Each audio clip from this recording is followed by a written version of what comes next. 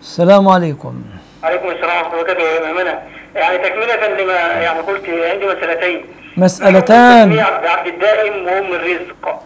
عبد الدائم؟ آه نعم. الدائم ليس من أسماء الله الحسنى.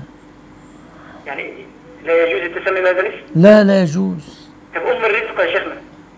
إيه؟ أم الرزق عمتي اسمها أم الرزق. أم الرزق؟ آه نعم. أم الرزق رحمها ولا إيه. خلاص هي ماتت. الله يرحمها. تقبل ربها